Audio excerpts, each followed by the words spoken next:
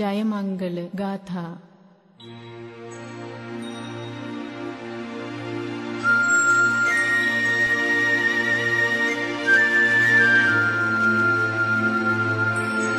बाहुं साहस